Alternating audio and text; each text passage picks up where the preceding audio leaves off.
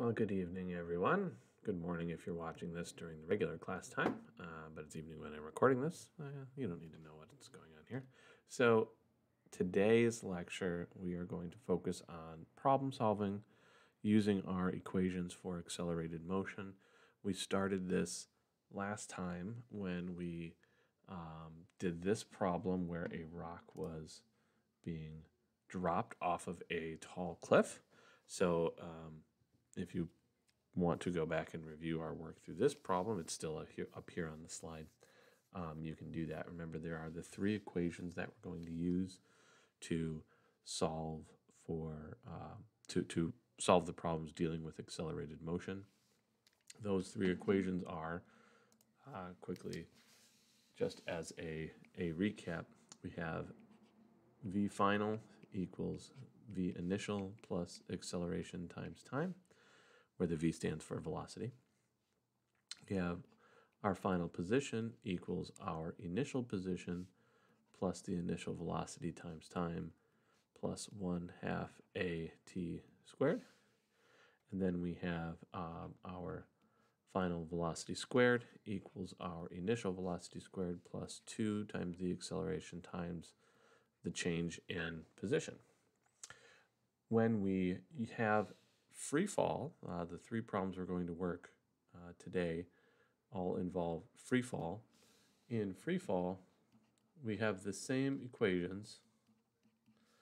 All that we have uh, to change the equations is that we know that the acceleration is minus g, that is to say minus 9.8 meters per second squared. That assumes that positive y is in the upward direction.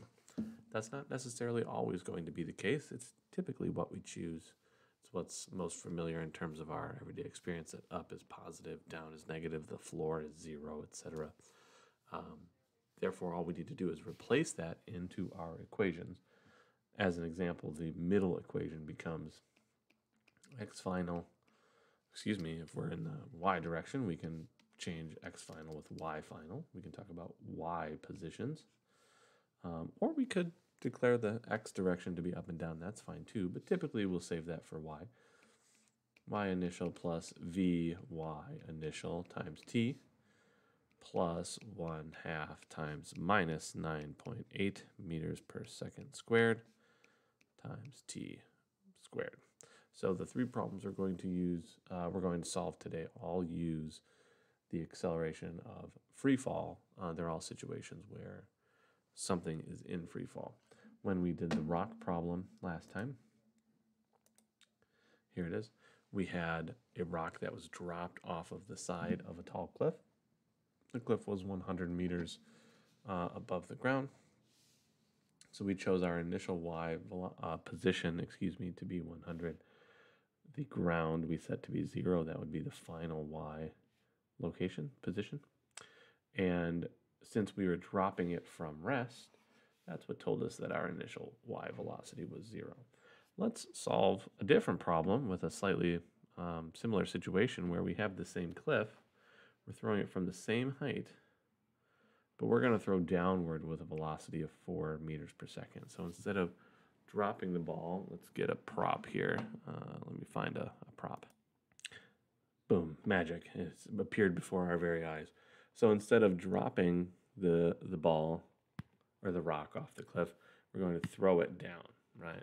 The difference is instead of letting go, we are going to throw it downward with an initial velocity that is non-zero. So I'll go to the next page to actually solve the problem, but the big, um, whoops, I'm in the wrong screen. I do that all the time. Get used to it. We go over here. Uh, we have a downward velocity that is 4 meters per second. Now, if the velocity is downward, there we go, we're back centered. Um, we need to be sure that we include information about that downward. So under the same assumption,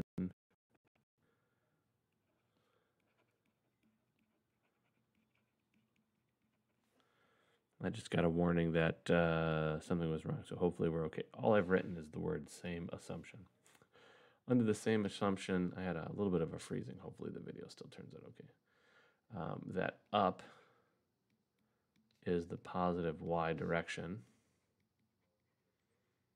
if that's our assumption, with a downward velocity, v initial is going to be minus 4 meters per second. The minus sign tells us it's pointing down. Now we can use the same formulas to answer the question of how long does it take for the rock to hit the ground. So if we go to a new slide, there we go. We have, let's draw a quick little diagram of what our situation is. Here's our cliff. Here is the floor or the, the ground below the cliff. Here's our rock, and it has a downward initial velocity of minus 4 meters per second. It's going to go faster and faster and faster so that right before it hits the ground, it has some final velocity.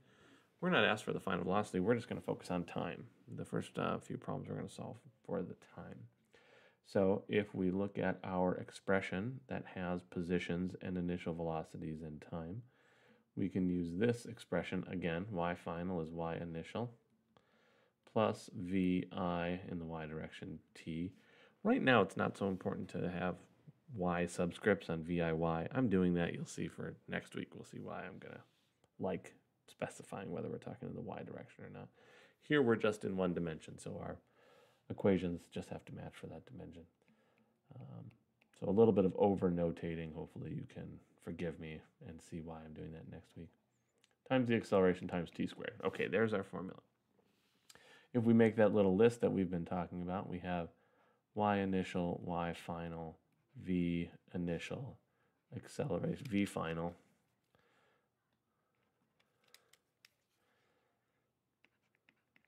and the acceleration and time.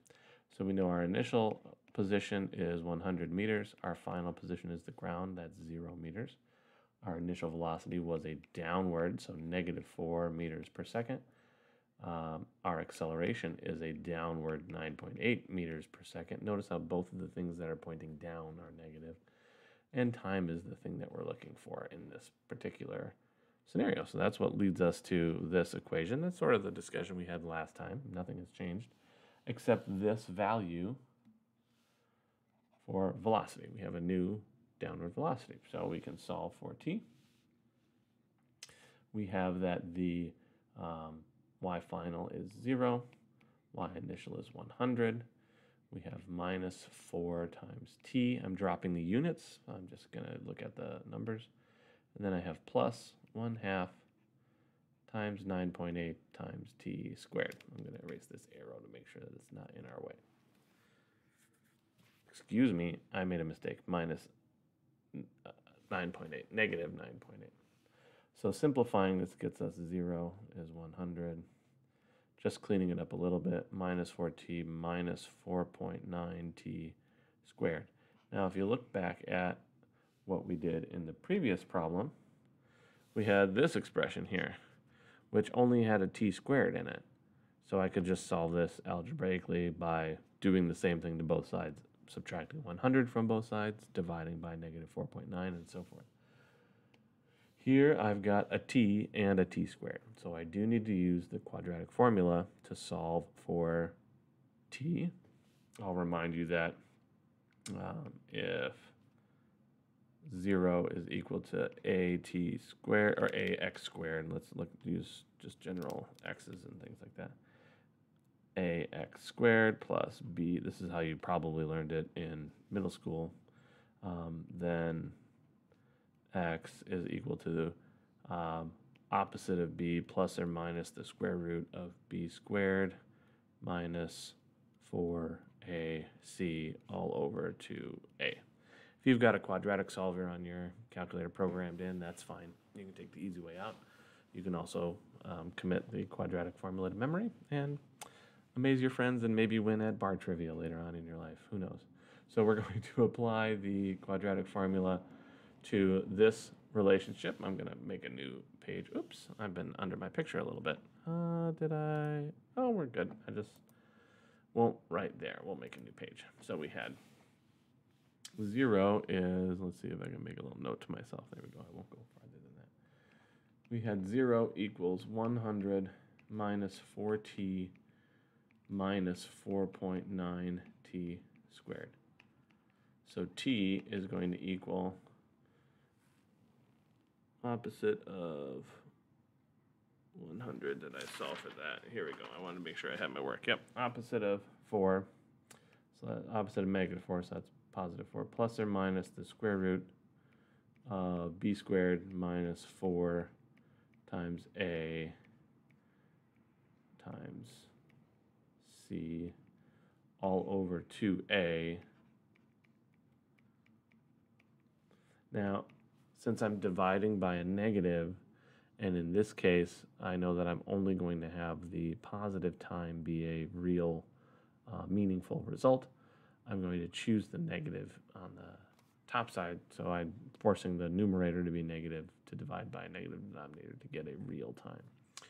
Um, if I had the plus side, there's the chance that I would have a negative time and I need a positive time. So I need a negative over a negative to give me a positive time. I think I may have misspoken just a moment ago. Hopefully, the last phrase I said was right. I need a positive time. I'm forced to have a negative denominator, so I need to be sure I have a negative numerator so that I have negative over negative is positive there. I think I got it all right. Um, solving this out, we get 4.13 seconds. This time is less than our time when we just dropped it. That was 4.52 seconds. So throwing it down speeds its descent to the ground. That makes some reasonable sense. Now, what's going to happen if we throw the ball up at the same speed? So we did the problem where we threw it down at 4 meters per second. Let's look at what happens when we throw the ball up. Oops, I don't want this one. I want to add a slide here. So let's ask ourselves the question, uh, what is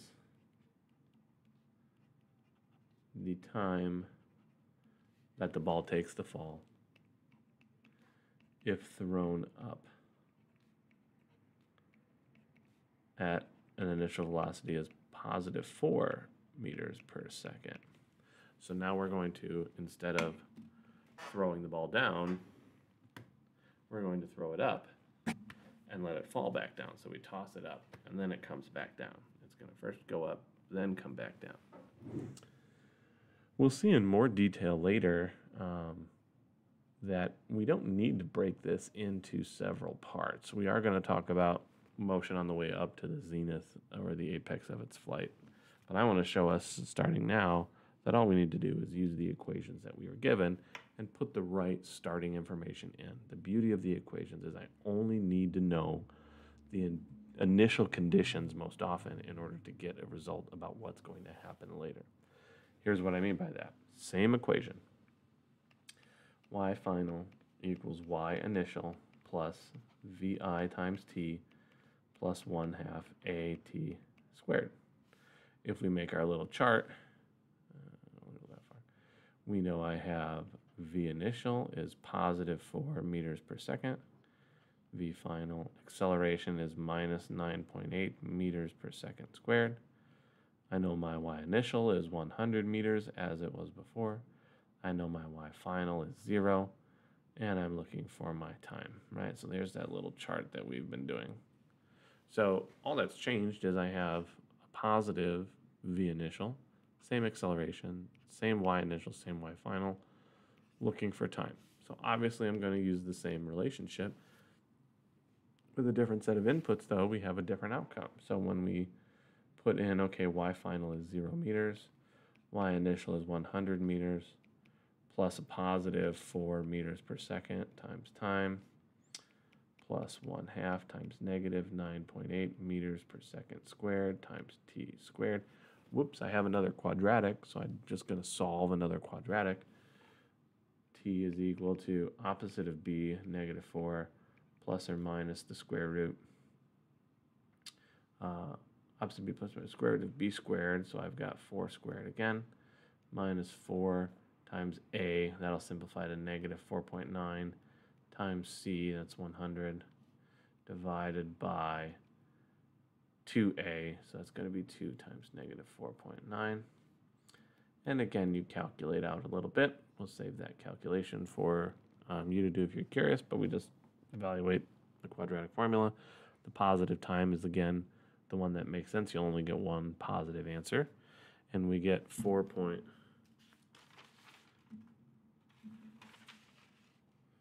Does that say 9 4? I'm going to pause. I can't read my little scribble. I'm going to recalculate it. Just give me a second. Okay, we get 4.94 as our time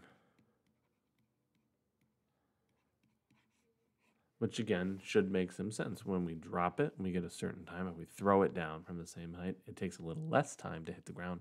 And now we're throwing it up, so it's got to go up and then come back down. It should take some more time. So the same equation with different initial conditions allows us to answer different questions.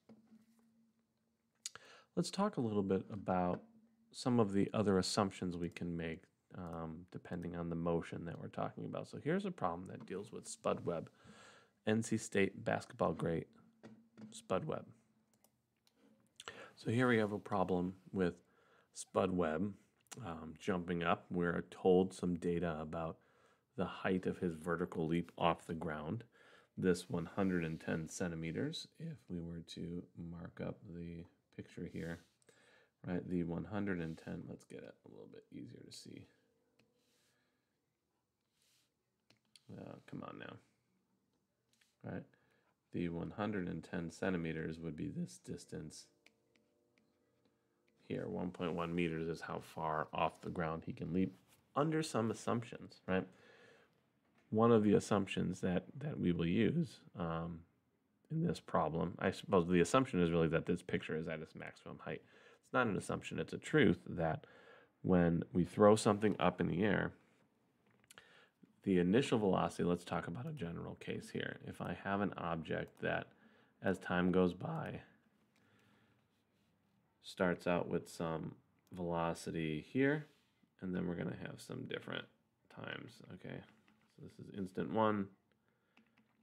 We'll draw instant two here, instant three, and so forth.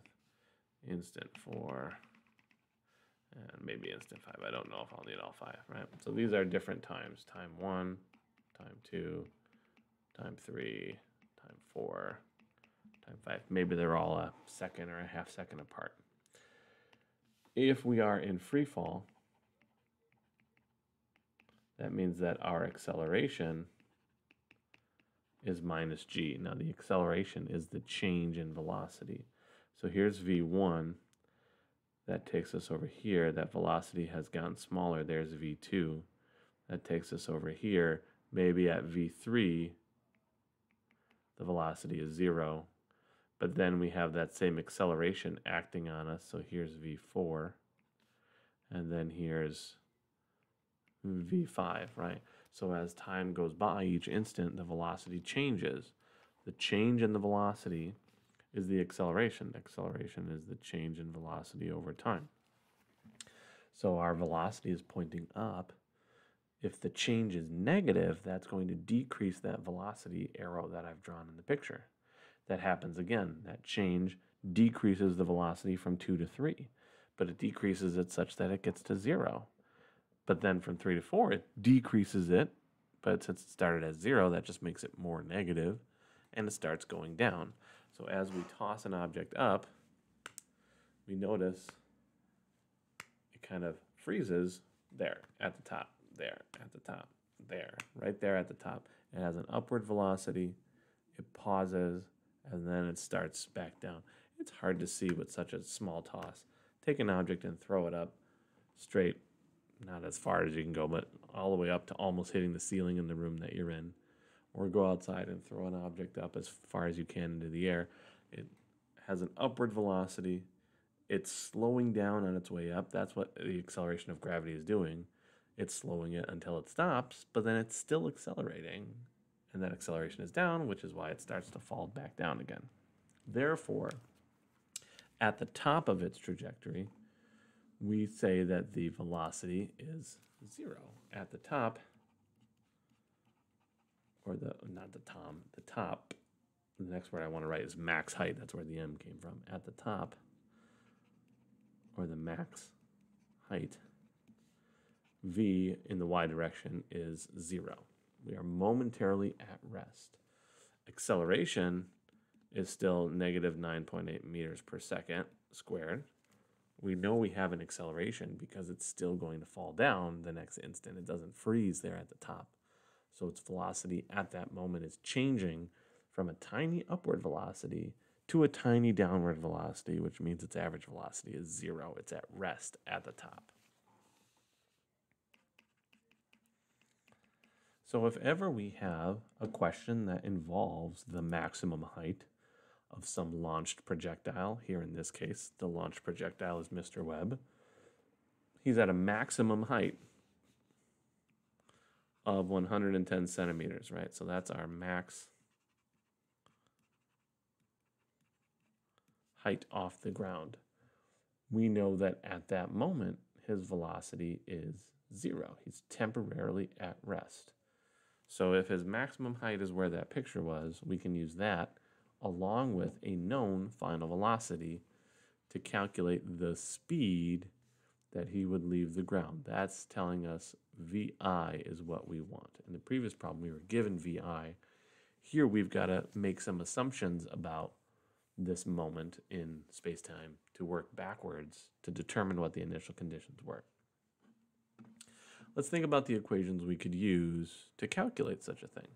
So let's look at our equations. We've got, we'll go down in order. VI is equal to V, sorry, VF is equal to VI plus the acceleration times time. Before we judge these equations, let's make our little list. VI is what we want. VF, we're saying zero because we're at the maximum height.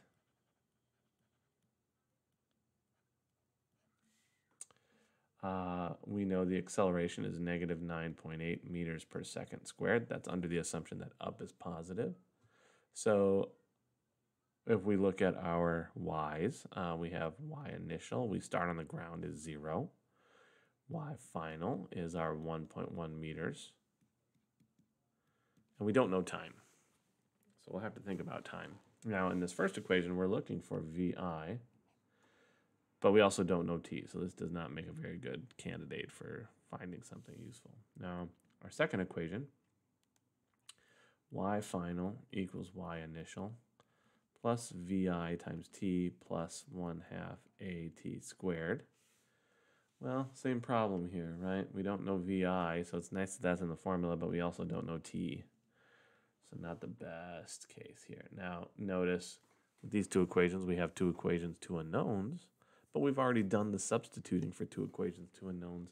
That's what made the last equation. So we can use what would be the result of two equations, two unknowns, and substituting one unknown value in for the other. To get the last equation, v final squared, v initial squared, plus 2 times the acceleration times, in this case, delta y, not delta x y final minus y initial. So if we put in our values, we know that we are at rest at the very apex of our jump. So we have 0 squared is 0.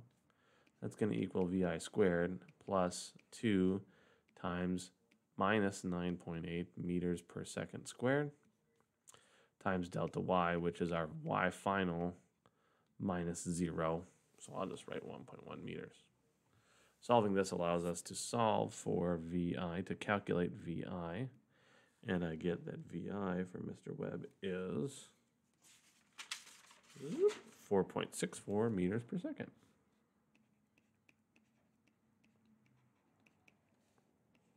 So that is the speed that he had to jump off the ground with in order to get that high. Notice in this problem, we needed to do some thinking about what our initial condition was. Our initial condition, if we were to draw a sketch, whoops, that's not a very good basketball floor. Everyone would roll to the middle. Let's draw straight. Uh, a little better, right? Our initial condition is Mr. Webb just ready to make his leap into the air. Or rather, just when his feet leave the floor. So he is just leaving the floor, which means that his height of his feet are zero. They're on the ground. but he's got an upward velocity v initial that's going to start carrying him up into the air. Our that's our initial picture. Our final picture has him up in the air, probably ready to dunk a basketball. Uh, there he is. And he is now 1.1 meters off, right? Y final. He's 1.1 meters off the ground, but he, whoops, VF, his final velocity is zero. He's at the apex of his jump, the very top of his trajectory, where he's momentarily at rest. So while we are solving for VI, we did have to assume that that VI took place at YI equals zero. So there are some assumptions we have to fold into these problems in terms of values. We have to assume that we know it is a um, a quantity that we have to add in if we are dealing with the top of the jump, specifically the location. We knew the position of the top of the jump at that moment. We also know how fast they're going. Um, zero, because that's the moment where we turn around from an upward velocity to a downward velocity. The last problem I want to work um, is this problem here. I'll give you a second to read it. We have a volcano shooting little blobs of lava up into the air and coming back down. And I want to make uh, an important point here with this problem. Yep. So in this problem, we're dealt with the total time, or we're, we're given the total time rather that this little ball of lava takes to go all the way up and all the way back down. We want to know the initial speed that allowed it to go through that time. Something I see all the time, and I think it has to do with the way that these ideas were introduced in earlier physics classes. Um, I am operating under the assumption that if you've seen it before, this is why you're, you're doing this the need, the perceived need to break this motion into parts. How long did it take to go up to the top? How long did it take to fall back down? At the top, we know the final velocity is zero. So that's true. We just used that in the previous problem, but that's because we were asked a question and we were given data about the location of the top of the jump. Here, we're not told how high the lava goes. And I want to show that with the formulas that we have, we can account for the entire motion over the entire time interval, 4.75 seconds. So here's what we would do for that. We can use the formula y final equals y initial plus v initial times t plus 1 half a t squared. Furthermore, we know that the time that we have here uh, is for the entire trajectory where it rises and falls back to the ground. So that tells us that the y initial and the y final are the same, right? We have at time t initial, the ball going up from the ground, and then it goes up and goes back down, and at time 4.75 seconds later, it's now hitting the ground and coming back down. So that means that our y final and our y initial are both zero, right? We don't have to worry about how high it is. We were never asked that. So if I want to solve for VI, I can use the following relationship. I'll drop the units just to save some space.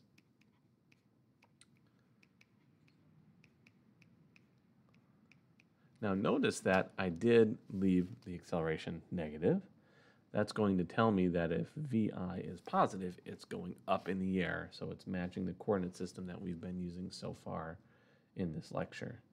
Um, whoops, sorry. I wrote t squared. I mean to write 4.75 squared. So did I make it just above my picture? I did. Okay, I just squeezed it in there. So this is a pretty straightforward solution for VI. I'm going to have a negative result here until I move it over to the other side to solve for it, and that gives me a positive VI. So doing just the tiniest little bit of algebra, you get that VI is 24.2 meters per second. Again, we may have seen problems like this, and we'll see it again in chapter three, where the solution approach we were shown relies on always breaking it down and finding the time to the top and then the time that it falls and working this problem twice. There's no need to do that as long as we're comfortable with up being positive, down being negative, and determining what the positions, initial and final, are. We can do it all in one equation. There's no need to break it into pieces. Let me ask one more follow up question, um, and this will be the little assignment that we make for the in class assignment. I'm going to think of this same lava piece with the same initial velocity. So for a molten lava blob, um, right, so here's the question that I'm going to make a quick little assignment for you to answer on Blackboard.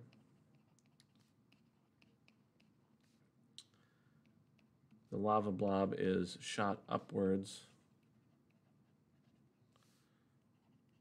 at a initial velocity of 24.2 meters per second. I want to know um, at what times,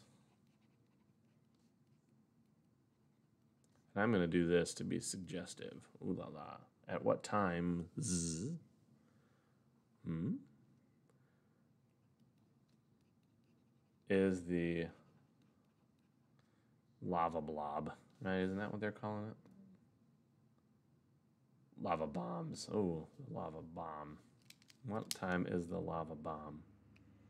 Let me correct my terminology. I said lava blob. Let me erase this and write lava bomb. This little chunk, oh, lava.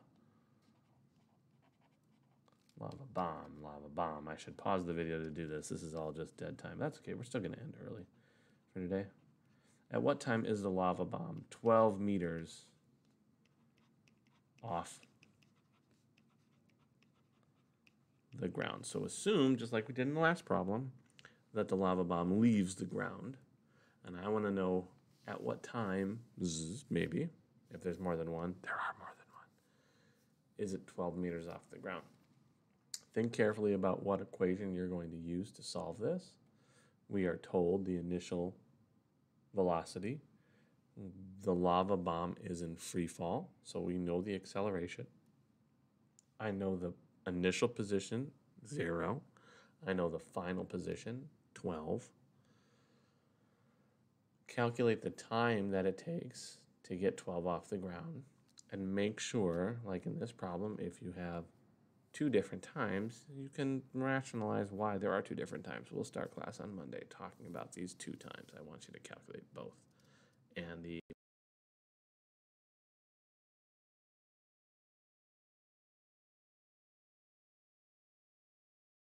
That's great. Okay. I'm going to review the video to see how much of that worked out. In case it did freeze, I'm going to restate it. Um, the Blackboard will set up will be set up for two answers. There are two times at which the lava bomb is 12 meters off the ground. Solve for both of those. We'll start class on Monday talking about what those two times mean. Um, if this is redundant, that just means that it didn't really freeze, but it just looked like it froze on my on my side. Excellent work, everyone. Happy Friday. Good weekend. I'll see you in class virtually on Monday for our last week. So far as I've heard, our last week of virtual classes. Excellent work. Keep it up. Let me know when you have questions.